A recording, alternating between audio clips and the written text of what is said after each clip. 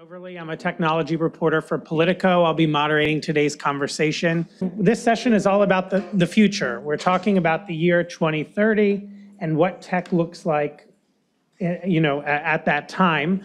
Um, so we'll be peering into a crystal ball, I think. Um, my, my aim as the moderator, though, is to try to tether us to reality and talk not just about maybe what we think should be the case in 2030, but what will actually be the case in 2030 and how do we get there. And so to help me do that, I'd like to introduce our panelists. We have Katie McInnis, the Policy Counsel at Consumer Reports, Charlotte Slaiman, the Senior Policy Counsel for Public Knowledge. We have Steve Del Bianco, the President and CEO of the trade association NetChoice. And finally, Ben Sperry, the Associate Director of Legal Research for the International Center for Law and Economics. So thank you all for being here. Um, I want to start the conversation on antitrust, which obviously is an issue getting a lot of attention nowadays. Um, on the campaign trail, we've heard Democratic frontrunners like Senator Elizabeth Warren and Senator Bernie Sanders talk about this idea about breaking up big tech companies. So again, looking ahead to the year 2030, do Facebook and Google and Amazon and Apple still exist as sort of singular standalone companies the way they do today? Maybe if we want to go down the line, who, who wants to jump in on that first? Um, so I actually don't cover antitrust as much as, uh, you do, so. Okay. Yes, thank you. Um, So the question is, do they exist as individual entities? Yes, absolutely. Um, I don't think that the goal is to uh, make these companies no longer working in the space. Um, The goal is that there will be a lot more companies working in the space and that there will be actual competition. Um, So I think antitrust is going to be a big part of the work that we do to get there by 2030. Um, I think the other really important component is going to be regulation. Um, There are currently antitrust investigations going on at the federal level, at the state level, um, into digital platforms. And we are seeing increasing evidence that there is market power, that Google has market power in a variety of advertising-related markets, that Facebook has market power in social media. That's a really important threshold question for these antitrust investigations as they're moving forward. Um, even if those antitrust cases are very successful, regulation is going to be a big piece of the puzzle. So that's something that we're working on hard here in Washington at Public Knowledge and with a lot of coalition partners, um, thinking about what that regulation should look like and how we can get there. Some of the really important tools that we think about to help promote competition from a regulatory perspective are interoperability, non-discrimination, and concurrent merger review that is not limited by the current Hart-Scott-Rodino cap, so that even small mergers will be analyzed. So I, I hope we'll get a chance to talk more about that today. Yeah, th- thanks for the question, too. When, when we watched um, candidate Warren and all the rest of those Democratic uh, candidates on the debate stage, uh, they all said, they all backed up Elizabeth Warren on this notion that we've got to break up Facebook and Google. They all raised their hands to say that. And they took turns saying they were worried about election interference, disinformation, privacy, censoring of controversial conservative speech, because they didn't think platforms did enough of that. And none of those concerns that they raise have a single thing to do with antitrust. They have nothing to do with breaking up a company at all. They simply wanted to show their constituents and their base that they will stand up to these big American companies. And there's another incentive. When, you, when you're a candidate who wants to be sure that speech that's negative about you gets moderated, you want to work the refs a little bit. You want to make sure that Facebook, Google, and Twitter will be very careful when they have to moderate something that's said about you. So I, I can't believe there's any serious belief that by 2030, that those companies will fall to an antitrust case causing Facebook, Google, Amazon to break up. The consumer welfare standard is in place today. And unless that was completely turned on its head, it is not nearly enough to show market power. You have to show what consumer harm that exceeds the efficiencies and benefits. And we haven't even begun those conversations yet with respect to Facebook, Google, Amazon. And what do you think? Well, whether uh, Facebook and Google exist in 2020 or not, um, I submit not only can I not know, uh, do I not know, I should say, but we can't know. Uh, If this panel was held in, before 2010, uh, or sometime, uh, you know, 10, 15 years ago, The question might have been, is MySpace going to be the dominant social network that's still around? Using much of the same reasoning, right? Lock-in effects, uh, net, uh, network effects, um, natural monopoly arguments. Will Yahoo, um, who has won the search wars, as one headline proclaimed, still be the dominant search engine? Well, we need to penalize companies like AOL uh, that has the instant messaging service uh, AIM, uh, right? Because it just acquired ICQ. I don't know if anybody remembers ICQ. Sure. Um, or will the Microsoft um, Internet Explorer still be the dominant browser? These would have been the questions had we done this panel at a different time in history, a different snapshot. So I, I would submit to you that not only do we not know whether Google and Facebook will still be around, but if they are, they might not be the power they are today. And that's completely irrespective of what we do with the antitrust question. Uh, these things tend to be figured out in the marketplace, um, often quicker and more efficiently and more in line with consumers' desires than they are by law. And Charlotte, what do you, how would you respond to that? I mean, do, do you think the market competition over the next 10 years is sort of, it will keep these companies in check, is sort of the suggestion? Um, I don't think it will if we don't have government action. Um, One of your examples, Internet Explorer as the dominant browser, I think a big reason that Internet Explorer is not a dominant browser is because of antitrust action against Microsoft that was targeted at the browser.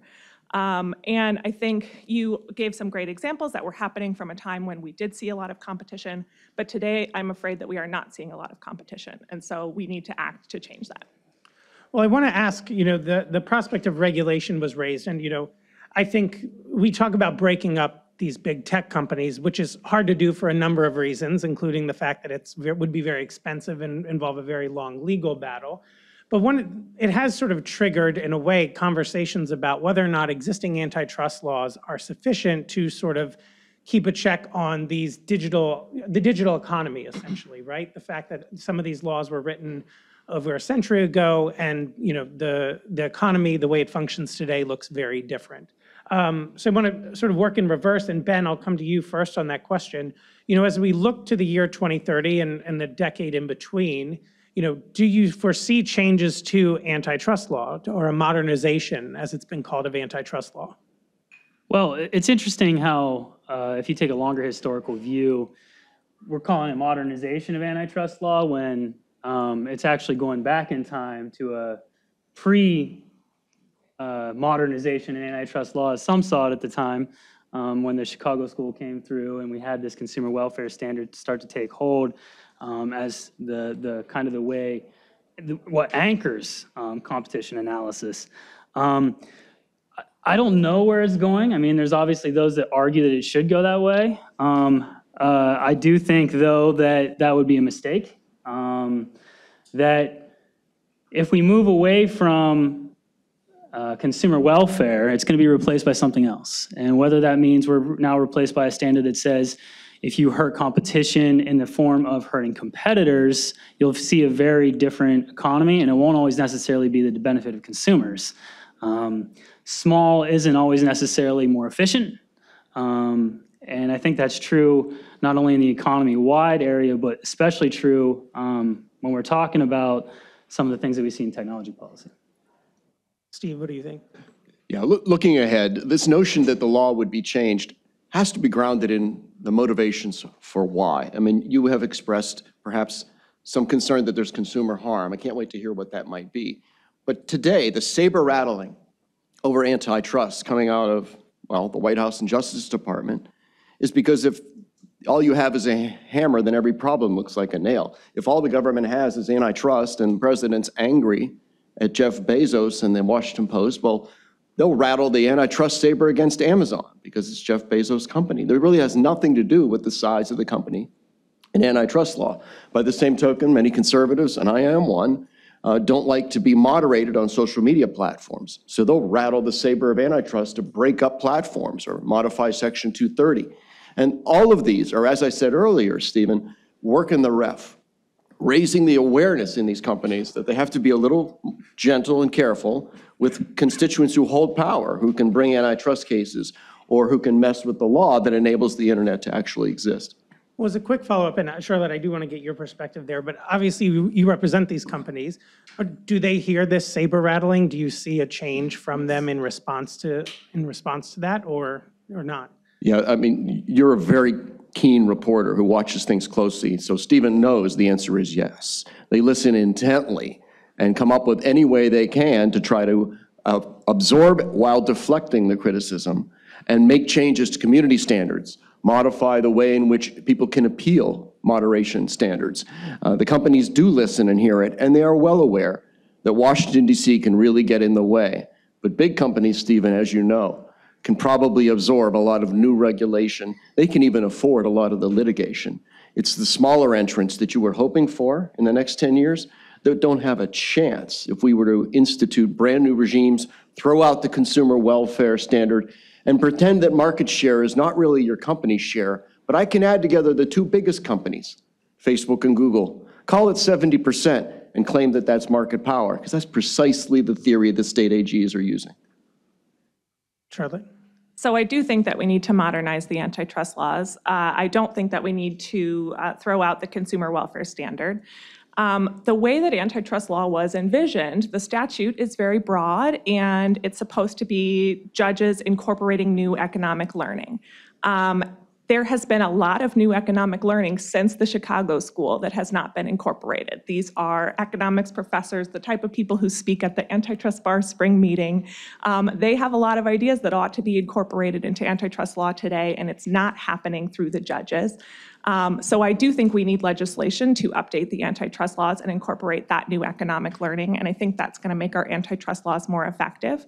But also, we are dealing with um, not a completely new problem, but a problem that is not going to be solved by antitrust alone. So we have been looking back at some of the uh, communications industries of the past and the regulation that we've done there. And we can learn from that which of those regulations were very effective at um, helping new entrants to get success and which of those regulations were not. Um, So it's a pro-competition regulatory plan that will make it possible for small businesses to really thrive. Um, And it is not targeted at additional regulatory compliance for small businesses, but rather additional obligations that the dominant firms will have for small businesses to create a fair playing field and allow competition. You know, I, I made, uh, I made my living by building a small company and selling it to a big company. And I will predict, Steven, that by 2030, Facebook, Google, and Amazon won't have, won't have done any significant new acquisitions.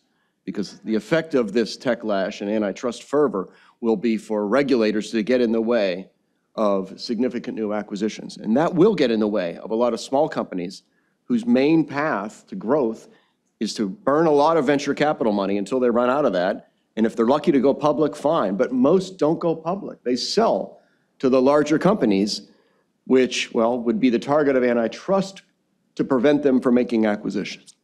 I don't know how that's going to work for small business. So I don't want to take over the whole panel with this topic, but I'm very excited about it. Um, The large companies are still doing acquisitions, so I don't see that concern happening. The, the tech lash is already uh, happening, and the acquisitions are still going on. Um, But I would also prefer a world in which being bought by one of the largest companies is not the only exit strategy. It would be great for companies to have multiple options. Um, And the sort of kill zone, I think, is a real problem. Um, Companies should certainly still be able to merge in some circumstances. That's not at all what I'm suggesting. But uh, I think it is a problem today that the main exit strategy is to be bought by one of four companies. Well, I want to follow up on a point that was made, and, and hopefully, Katie, we can bring you in on this one. I, I want to make sure you're included because it- it'll relate to privacy. And that's, there's been discussion around the consumer welfare standards and sort of the metrics by which we look at company size and influence in the market. And you've interestingly seen this in a bipartisan fashion, um, which, you know, I think as we look to 2030, sort of measuring the political will of any of these issues is- is going to be a key factor. There has been some bipartisan questions around whether, for instance, we should look at the impact that large tech platforms have on privacy, or we should look at the impact that large tech platforms do have on speech, as opposed to just looking at price, especially given that a lot of these services are free to consumers, or at least free in the sense that you're not paying money, perhaps you're paying in your data. And so, Katie, I'd like to come to you as someone who's obviously thinks a lot about privacy.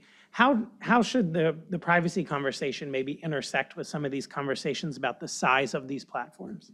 That's a great question, and I think this is one that's not really um, well integrated into the antitrust conversation in general. If you have data about hundreds of thousands of consumers, what does it matter whether or not you acquire another uh, advertising uh, metric or uh, venue? It doesn't really affect your decisions or how consumers can choose to interact with the marketplace. Uh, But I think we'll learn a lot from the CCPA a couple of years from now, right? Like, do we see smaller businesses choosing not to collect some information on consumers that they don't need? Because then that would uh, open themselves up to further regulatory issues. And I think that's the kind of conversation that should have been happening from the beginning with a lot of companies, not seeing data as a like proverbial oil, but rather data is an asset and also a harm for the business itself.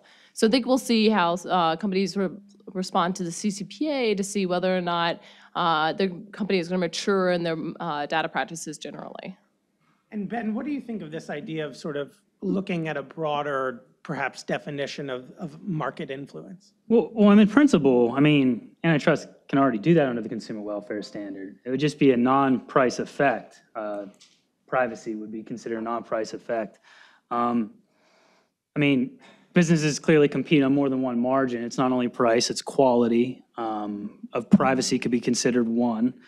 Uh, But these are things that are, from a consumer perspective, um, you trade on different margins. And, and it seems, at least empirically, that whatever consumers might say they want in terms of privacy, they tend to trade it for very cheaply.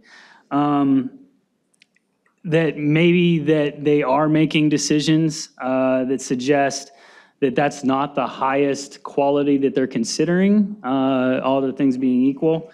Uh, But nonetheless, these things are somewhat in tension. So if you have uh, antitrust action that would either break up a company or otherwise try to go after them for antitrust liability because of uh, they, they don't like their privacy policies, you may end up in a world that has uh, effectively more expensive goods and services online. Uh, There is a trade-off that could be there, and that's true with regulation as well. In an internet ecosphere that relies upon data-powered advertising um, to uh, allow access to a lot of content to be free, or at least non-priced, um, you change that by making privacy uh, or data very expensive to, to collect and then use for advertising, you will see it have to be paid for either in another way or less free, well, less content could be available altogether. Like, at the very least, we'll know less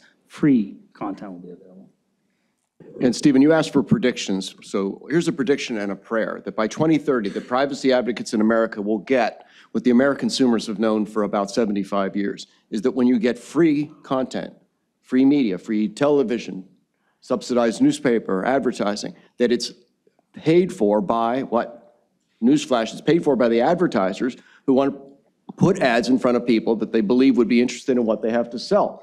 If they don't have any personal information at all, the advertisers base it on the, well, the audience demographics. During a football game, we're all going to see lots of ads for pickup trucks, car insurance, Viagra, beer, and pizza. And you get a little tired of that. It's possible that advertising could be somewhat more sophisticated and go right up to, but perhaps not cross over the creepiness factor, where people think that ads are following them around. And I believe that consumers understand when ads are paying for something to make it free to me, it's my eyeballs that are being sold to the advertisers. Uh, Newsflash, that is not an alarming concern to consumers. They would always love maybe more privacy than less, but I don't believe that consumers are freaked out about the idea that advertising that's targeted is more effective and will therefore provide even more financial support for hiring reporters and producers and buying original content. Well, I want to get Katie to respond to that because I will say it does seem, in, especially in the last few years, we've seen more of an awakening or at least a greater awareness for some of these privacy trade-offs. You know, I certainly media and lawmakers in Washington have been asking that question. You've seen consumer groups asking those questions. You know, where do you see that conversation evolving over the next 10 years in, in terms of consumer sentiment around privacy. And, and as Steve said, sort of some of these trade-offs for content or advertising that's tailored to them versus maybe preserving information they don't want to be known. Well, first of all, I think we're going to have a bubble burst on this whole behavioral advertising gambit, right? We've been told for years that we're trading our, our, our time and our personal intimate data that we're not even have any control over sharing, by the way. So you don't have an exchange in this kind of marketplace. This is happening whether or not you're partaking in it, just as a user of the web. So there is not really this exchange I think many people think is there. Yes, these services are free, but they're using my time and my intimate details to um, target advertisements to me and others like me that we may or may not want or even be interested in seeing in, despite the fact that there's other models of funding these websites. Uh, Alexander Acquisti recently did a study showing that the return on behavioral slash targeted advertising is incredibly low, and that probably advertising companies are overstating the benefit of this service that they're uh, providing for a bunch of different companies. So I think that that's one thing that's going to happen. Secondly, I really do hope by 2030 we no longer have a conversation about this privacy paradox because we've actually passed a US federal law that gives consumers the ability to control who has their information and the ability to actually make a decision about who's going to have access to that, which they don't have now and haven't had for 30 years that we've been having this conversation. Hopefully by 40 years in, we'll figure something out. Um, My fingers are bigly crossed on that one. I'm very excited. Uh, And I hope you all will join me in fighting for a federal privacy law that gives you your rights um, on the marketplace. But I also think that one final discussion that's going to happen is that people are going to get tired of seeing these behavioral ads, whether or not there's a good return on uh, investment there. I think that people aren't going to be interested in being marketed to based on the kind of teeny tiny little box that I've been put in by advertisers. If you look at the list that they have uh, for for individuals from different data broker sites, these tags are extremely insulting, and I think if people had more input into it, which we hopefully will have through the California and Vermont data privacy data broker uh, lists that are now being put into effect, uh, I hope that people will be able to push back and maybe advocate for their own rights in the marketplace. Well, I want to, I want to go down the line on sort of a, a question that you raised, which is a federal privacy law. That's something industry has called for, that's something advocates have called for. Um, We've seen some drafts sort of floated around and proposed. Um, In the year 2030, do we have a federal privacy law, and does it take us the full decade to get there? We'll go to Charlotte and then down the line. Um, I think we will have a federal privacy law. I really hope it doesn't take us a full decade to get there. Um, I think it's also really important as the, you know, bringing the antitrust perspective, I do want to say that I think antitrust is not going to be sufficient to protect people's privacy. We absolutely do need a federal privacy law to protect people's privacy. One of the big reasons, like Katie was describing, is that people don't have a good understanding of how they can control their data and what their data is going to be used to do. Um, So I think simply having a marketplace without uh, consumer protections is really not going to be sufficient for that reason. Katie, I'll take your invitation to work with you on a federal privacy law. Charlotte, I'll agree with you, it won't take 10 years, but I guess that's where our agreement ends. Because the last thing we want to do is copy aspects of GDPR that made their way into California's law. We need a single national standard and not the patchwork, but the California law, um, by the state's own reckoning, ends up costing 50, what is it, $55 million uh, across all of the half a billion companies that will have to comply with it. Those costs are bearable by the large companies that are members of NetChoice. But they are not bearable by small companies. And one of the aspects of that privacy law we'll end up having to debate is this notion of opt-in versus opt-out. Because large companies can get consumers to opt in for sharing, because you know who the big company is, and they've built up a record that perhaps gives you the notion to trust them. But if Steven and I start a brand-new company, uh, we will have no foreknowledge. Consumers are not likely to opt into a brand-new and unknown company. And we're going to make it that much harder to start businesses that acquire a lot of users funded by advertising. And then this notion of right to delete or right to be forgotten is one that Americans are going to have to really get their arms around. The idea that it, it can be gamed so badly to where near a million Europeans are appealing to Google to remove from search engine things about themselves that they find embarrassing and inconvenient, but that might be very valuable to those who believe they have a right to know if your medical license has been revoked or you've been convicted of a crime or, or some other important information before I loan you money or go into a business with you. Um, It does seem likely that there will be a privacy law that's in place. Um, And I think the stars are likely aligning for that to happen sooner than later. Um, In part, from what has been noted, uh, industry doesn't really want to have to deal with 50 jurisdictions, 50 different state laws on privacy. Um, They, I think what's really might happen, if, if, if it's going to happen soon, is you'll see a federal privacy law that also preempts state laws like the CCPA. Um, or at least I'm sure that will be the attempt um, by uh, industry um, in the near term. Uh, whether that's a good thing or not could be debated, uh, but I think overall, we need to consider the costs and benefits um, at all times of federal privacy legislation and the trade-off that I mentioned before, um, and what that might mean for the internet ecosystem, uh, including from a consumer perspective, whether you would rather uh, have things paid for as they are now, which is implicitly, essentially, uh, with your data, or by spending more money uh, that you can actually see leaving your bank account. Well, I want to ask a related question because, you know, and I, this is where I really want a, a reality check because as we know, Washington has a habit of moving rather slowly on these things. You know, I can think of cyber breach notification being a key example where we have state laws everywhere, but, but have yet to agree on a federal standard. Over the next decade, do, do you all continue, do you see this trend of sort of state level policy, right? States sort of driving a lot of these key conversations, be it around privacy or even antitrust. Does that trend continue for the next 10 years? Do we see Congress maybe being more proactive or aggressive on some of these issues? Steve, I'd like to come to you first. Thanks, Steven. Um, This is what I've been doing for 25 years. The states do tend to lead on these things. Uh, Think about it, in 50 states with 1,000 to 2,000 pieces of legislation a year, we deal with 100,000 bills, and a bill can, a bad idea can become a law in two weeks in most states. And that means that all of industry, uh, members of NetChoice, spend vast sums of money and a lot of time on airplanes in the state capitals to try to stop these bad ideas from becoming laws.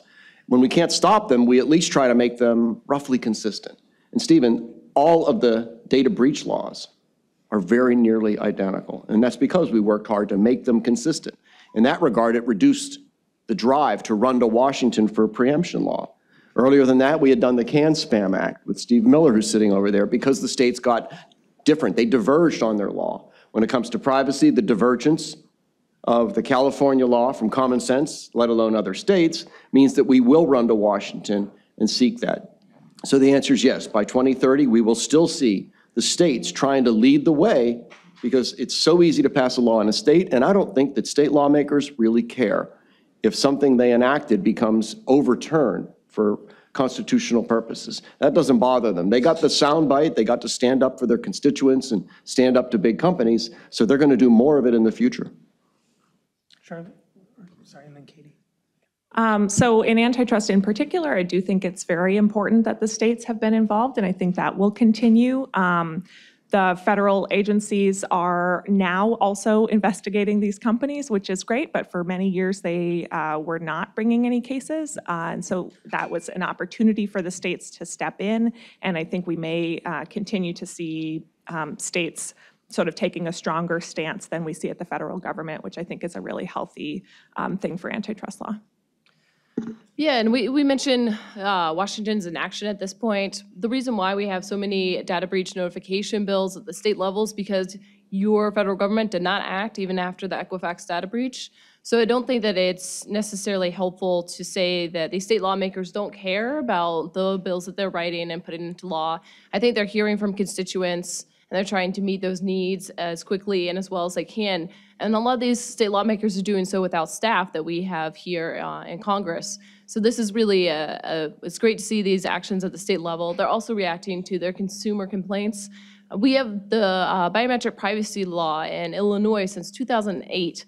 If we had pushed for that at the federal level, you know that we'd still be right where we are now. So it's great that these states are acting and looking to help their constituents where they can. And it's also a great moment for us to say, why can these states do it when the federal government cannot? Maybe we should be pushing Washington harder on these issues. And I, I agree with, uh, with uh, Steve's point that we don't necessarily want every single part of the GDPR, but I do think that some parts of it that has made it into the state law, uh, for, so like, uh, one way of having the right to be forgotten is the right to ask a company to delete your data, which we now have under the CCPA in California. That's a wonderfully American understanding of a right to be forgotten rule that still is in compliance with, uh, First Amendment here in the US. And so I think that, that we're seeing amazing innovation at the state level, exactly as our founders intended, and I hope the federal government acts, but doesn't act to quell all these state actions.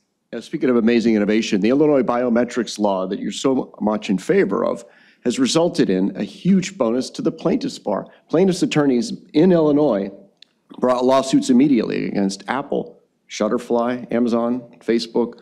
In other words, companies that allowed you to identify your own family members in your photos.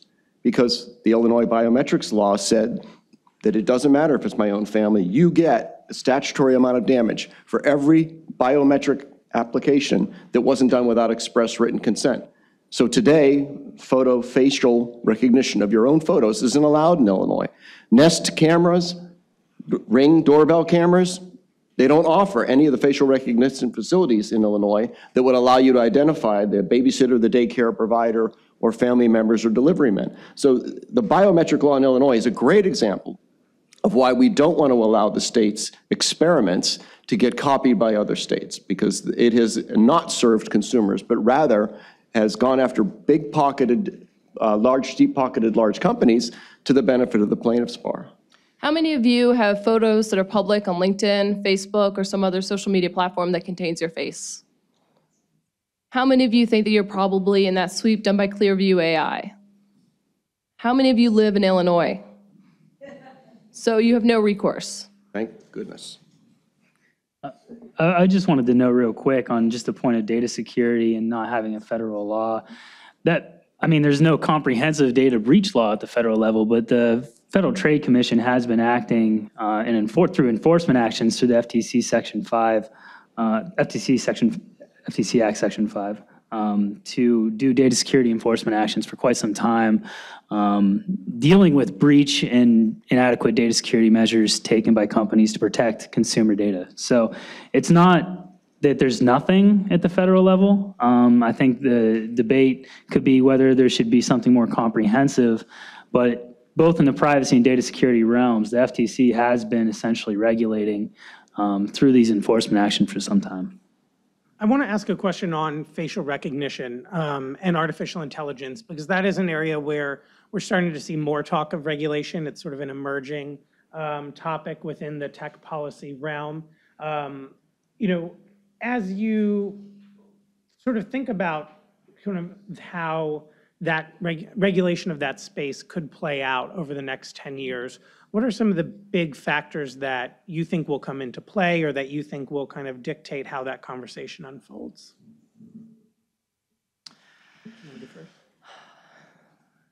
Um, yeah, I- so I'm not an expert on facial recognition technology, but I think that the use of it in public spaces is probably going to be the most galvanizing uh, moment for all of us. And at the moments when retail locations are now deploying it will also be, I think, a hugely galvanizing moment. Uh, You may not be putting your photos on Facebook or may not allow their facial recognition tool. You may not have a ring camera on your home. But facial recognition technology will be deployed in public spaces and in brick and mortar retail locations. And I am expecting that you won't really have a good way of opting out of that experience. I think um, the experience that we saw with Hong Kong and the protesters recently is a great example of how pervasive this technology is and how you really have to just cover your face or work on taking down the poles as a way of opting out. Obviously, our country is not China, and I think that we'll progress in a different way. But I do think that once it enters uh, public spaces, it's going to be a completely different conversation. some of the trade-off between privacy and security is subjective, and, and America tends to vacillate on how we feel about those two. Um, Another 9/11 might change completely the calculus between privacy and security if facial recognition in a public space would have, would have captured some terrorist suspects on the way into a stadium. So a lot of our public officials are worried about getting, well, getting called out for not having done enough. So I- we are seeing more and more law enforcement authorities acquiring facial recognition capabilities and technology. And at the federal level, there's a clash over what they might restrict local governments from even doing. In the private space, it's, a- it's a different conversation, but I believe the, the focus will mostly be about privacy versus security in public spaces with the ability to identify who are known bad actors. Yeah, and I think one thing to consider in that is security for whom. I think we saw after 9/11 that security for some groups was guaranteed and security for others was put into some, some question. Uh, We saw greater policing of some communities that had nothing to do with the attack on 9/11, but yet we're seeing greater police surveillance in their communities. I think we're already seeing that now with the use of facial recognition tech. And I think privacy will become more of a luxury good if we do have it deployed in uh, public spaces like this, because who has the ability to sit at home and not go to a grocery store? That's going to be a more wealthy individual rather than a more uh, low-income individual. Got it. Got it. Um, Well, you know, there's this sense that, you know, one of the things that allowed the internet to flourish so much was kind of a light touch regulation, and we had a whole hour-long panel before this on Section 230, um, and sort of some of the, some of the factors that we're now grappling with because of that light touch regulation, right? I think there's a greater awareness that while it has given us some, you know, large and, and, and great companies like Google or Facebook or Amazon, there have been trade-offs to kind of that light touch regulation. As we look at something like AI or some of these emerging technologies, do you see Washington taking a different tack on those as we think about regulation? Ben, maybe let's start with you and work our way down the table.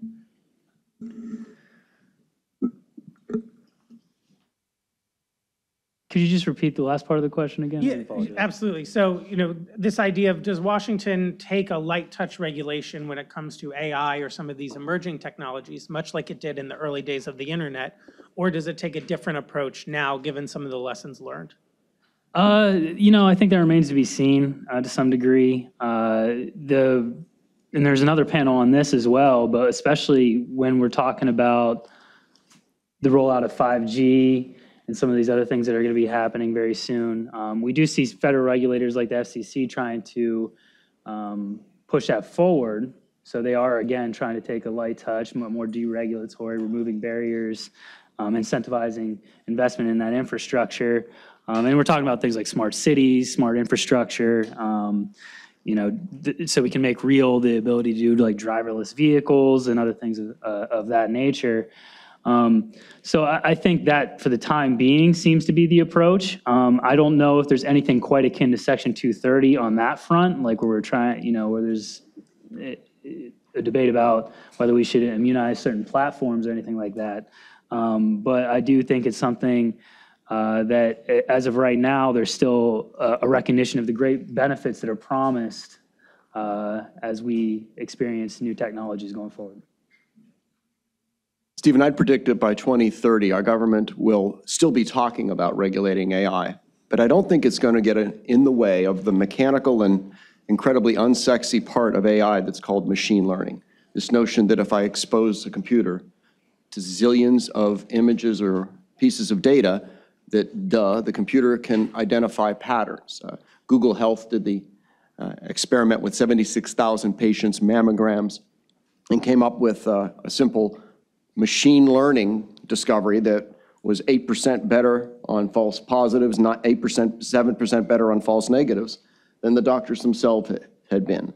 And that sort of innovation through machine learning is just letting machines do faster and broader what humans do when they try to identify and understand patterns. So I don't think we'll get in the way of that. But I do think that by 2030, we'll increase our enforcement of laws that prevent discrimination based on whether it was machine learning, AI, or anything else. If there's discrimination in the granting of, of loans, mortgages, if there's discrimination in sentencing or granting of bail, I believe that the use of AI just make it, just makes it even more important to enforce the laws we have against discrimination. But we can't stop the machines from learning if they're exposed to actual data. And that's going to happen between now and 2030 in, in even a greater degree.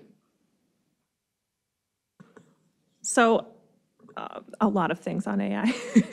Um, uh, My hope is that we ha- will put ourselves in a position over the course of the next decade where AI is not going to be owned by the same four companies who are uh, running a lot of the internet today. Um, I hope that we will have future-proof regulations that will uh, promote competition in AI. I hope that as we are working on the competition regulations today, um, that we are able to have technology-neutral definitions. What we talk about is bottlenecks or gatekeepers, um, and that if that kind of situation occurs again in AI, that the regulations are there so that we are prepared. Um, But there's so much more to AI than the concentration issues. Um, I think the discrimination issues that Steve mentioned are really important. It's really important that we have some accountability for these AI systems. And there is, I think, under current law, sometimes a difficulty for people to enforce their rights about AI because of this sort of black box. It's difficult to understand what is the AI really doing and how is it making it its decisions. And so we need some uh, system of accountability to be able to identify whether discrimination is actually happening in the AI or not. And that's something that I hope we can figure out before 10 years has passed. Yeah, and unsurprisingly, I agree a lot with Charlotte. Um, but I also hope that we'll have by 2030, we won't be talking about AI as uh, inherently objective, and I hope that we'll move past that sort of stumbling block for ourselves. I also hope that we'll be talking about actual AI and not AI washing, which is just poor workers doing the work of a computer and then us calling it AI after the fact.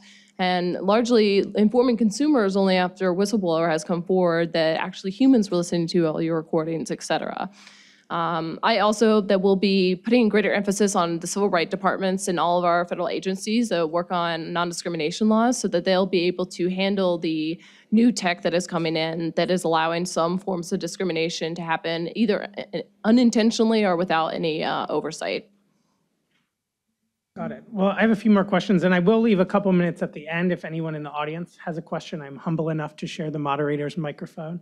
Um, But I want to talk about, as we think about the future, you know, all the issues I've asked about, things like antitrust, privacy, AI, those are in our field of view right now, right? We know those are going to be issues that are going to play out over the next 10 years. What are some issues that over the next seven to 10 years are going to be in the headlines that are going to emerge that maybe we're not talking about today?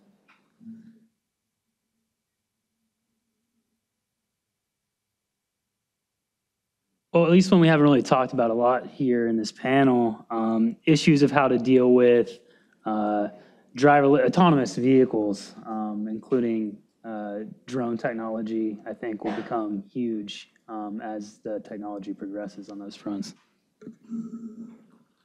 I think that uh, something that's an opportunity, it's a very positive, this notion that uh, intellectual work that's done in the gig economy, not just uh, driving for Lyft or Uber or working at Thumbtack, but actually doing writing, programming, evaluation, analysis, that kind of work can- occur in a very decentralized way in this country. And there are a lot of platforms that allow us to make our services available, to be rated by our peers reputationally, and to be able to measure the output of our work, an easy way to get paid for the amount of work. So there's a chance that over the next 10 years, we'll see an explosion of intellectual gig work through uh, what Sam Lessin calls the human cloud of people that we can tap into to get some help. Now, when you do that, though, we, we will have to watch for this notion of employer versus employee. And coming out of California, yet another brilliant idea from the Golden State is AB 5. And uh, Steven, in your profession in particular, journalists who submit more than 35 pieces to a single publication have to be classified as employees. So your profession has sued the state of California for this notion that everybody needs to become an employee instead of a contractor. And I do believe that that could be a barrier to the upside of the intellectual gig economy over the next 10 years. If we, uh, if we, if we believe that there's only a em- employee or you're a contractor, when in fact we should look at ways of providing benefits to people if they want to stay independent. So something we haven't talked about today that I think is really important is digital inclusion, making sure that people actually have access to all of these great benefits and sometimes difficult things about the internet. Um, That's an issue that's been really important for us at Public Knowledge as well. And I hope that over the next 10 years, uh, you've got to imagine that by 2030, this is um, something that we've been able to do a better job of. I've been highlighting this earlier, but I do think that um, communal privacy is going to become more of an issue in 2030, especially with the deployment of AR, VR technologies. I know that we saw the boom and bust of Google Glass, but I do think that there's probably going to be some sort of uh, thing that we wear on our faces that lets us know that it's this temperature and this is the way I'm going on Google Maps, because that's much better than looking down and looking up and possibly being hit by a car. So I think that that's going to be part of it, but I think within that discussion, we're going to have to have a greater understanding of what it means to be private in a public space.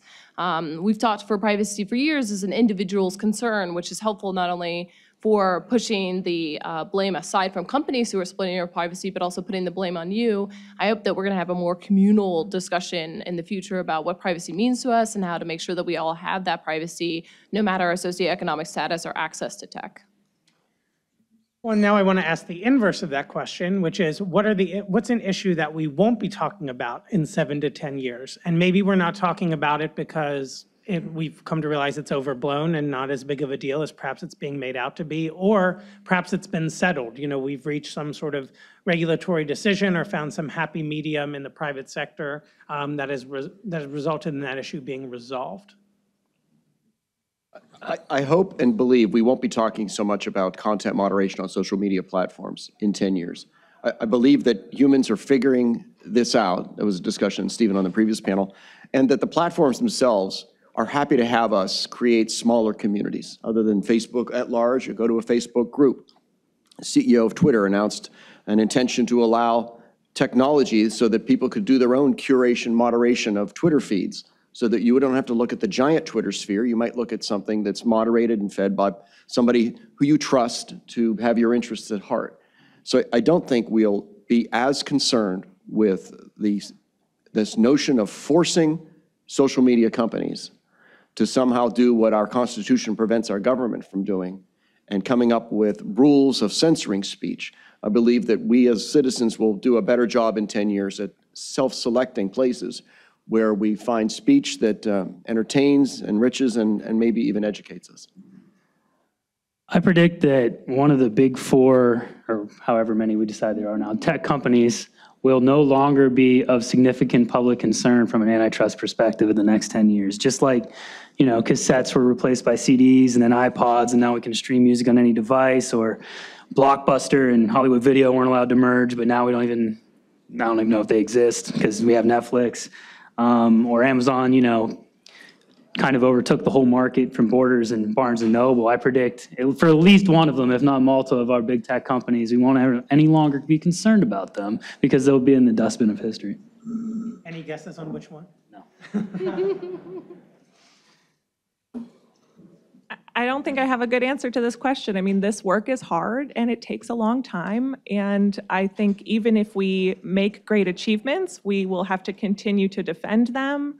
Um, So my experience is that almost no issues go away. Um, I expect to still be explaining why the great regulations that I advocated for and- and are now happening um, should stay and not be undone 10 years from now. Um, I think, I think we might still be talking about all these issues. Sorry.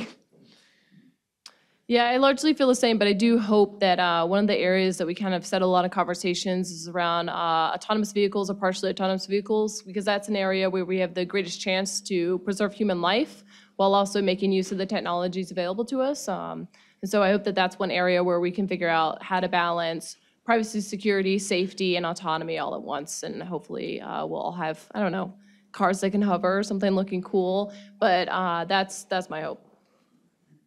I had a debate with a colleague about whether or not flying cars would come up in a panel in the future of tech. and so I think I just won that debate. Um, Well, one more question from me, and then if there are audience questions, I mean, I can keep going, but I- I'd love to open the floor. And that's just, you know, I think sometimes to understand the future, it's helpful to look at the past, right? And I think, you know, back to 10 years ago, you know, if you think about an industry that was constantly on the front page of newspapers and news sites, that was being talked about as being regulated or regulation being imposed, you know, my mind immediately went to big banks. And coming out of the recession, that was a big topic of conversation. Obviously, financial regulation is still an issue today, but it's not quite the same issue it was a decade ago. You know, I'm curious from, you know, as we're peering into this crystal ball, you know, are we still experiencing a, a so-called techlash 10 years from now? Is tech still in the hot seat the way it is today, 10 years from now? Or have, has attention in Washington moved on to some other industry that, you know, is now sort of in the crosshairs? Ben, what do you think? Uh, I, I think just to be consistent with some of my previous answers, yeah, it could be tech still, but I bet it won't be the same companies or the same issues. It'll be moved on to, you know, whether some company we don't even know exists yet is too big and powerful in whatever market it happens to be operating in. It'll be um, maybe a completely different type of technology altogether that we don't even have awareness of yet, and whether it's bad for our privacy concerns. Um, That's the dynamic nature of markets, and I predict, that's the one thing I will predict with confidence, is that we don't yet even know the challenges nor benefits that we're going to have from it. I think in the next 10 years, the focus will go away from tech and go to more towards, I think, three vectors of industry and, and progress that affect people more directly. And one would be fossil fuels, fueled by our notion of climate change. In 10 years from today, the fossil fuel industry will be far more in the crosshairs than tech. Next to them in line would be food safety concerns. Might even have some relation to climate change, but food safety concerns will escalate. And then finally, pharmaceuticals and other sort of healthcare treatments, where we have a great concern about uh, its effect on us and whether it's um, a product you can buy with integrity. So I believe they'll all be ahead of us in line in 2030 when we're having the same debate. So to respond to Ben's point, I do want to reiterate, I think if we don't act, we will be talking about these same companies in 10 years.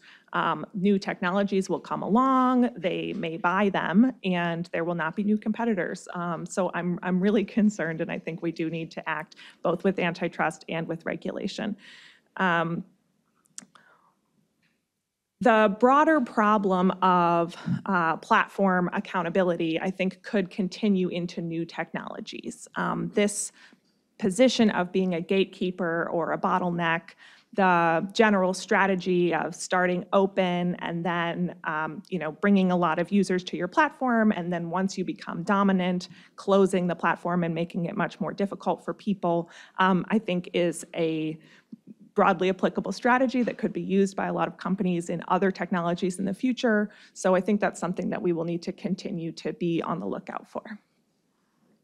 I agree, of course, so we have to act now. I do think, though, that one thing that will be more important in five years or even 10 years is going to be e-waste and the right to repair ability of your products. Um, I think right now, we already feel a little bit of like, I don't know, resentment towards the planned obsolescence of all of our devices and the undisclosed support periods for those devices, but that's not really a huge issue right now. I think in a few years, when you've been throwing away connected smart things for years that were once a toaster and now an oven, that are not supported and now open to attacks, I think that it's going to make the right to repair discussion all the more salient, along with the coming uh, climate apocalypse very much ahead of us. So I think that that's one thing that's going to have more discussions in the future, especially as people want to own or uh, change their tech more often than in the past. You see, the car was this wonderful human uh, consumer good that we could endlessly change, uh, along with you know regulations around emissions. We could change to fit our own interests and uh, desires for creativity. I think our tech is going to continue to hopefully go in that uh, go in that direction and allow us to repair our tech and hold it on much longer than maybe some company would have planned for it to be in use. Any questions from the room? Sure.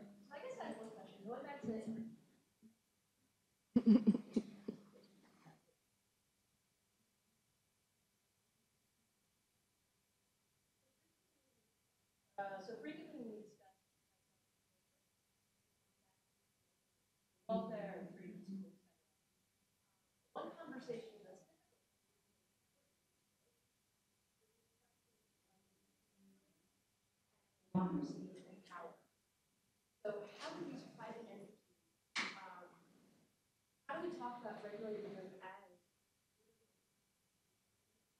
or illegitimate power. What does that mean in terms? Will there ever be a day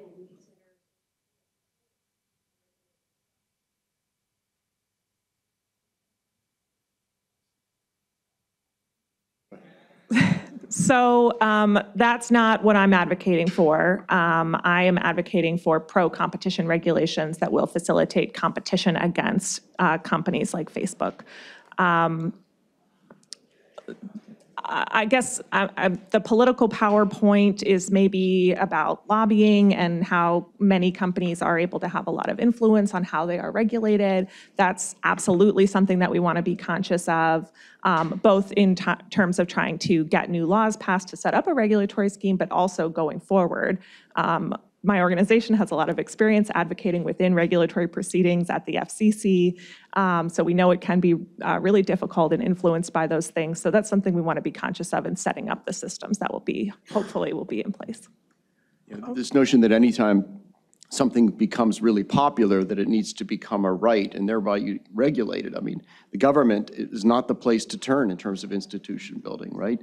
If it, if it moves, tax it. If it keeps moving, regulate it. And if it stops moving, subsidize it. That's what we end up with. We have hit our time wall, I'm so sorry. So hopefully panelists can stick around if they, if folks have a few questions for them, but the keynotes are next. So thank you all for joining us today and see you in 2030.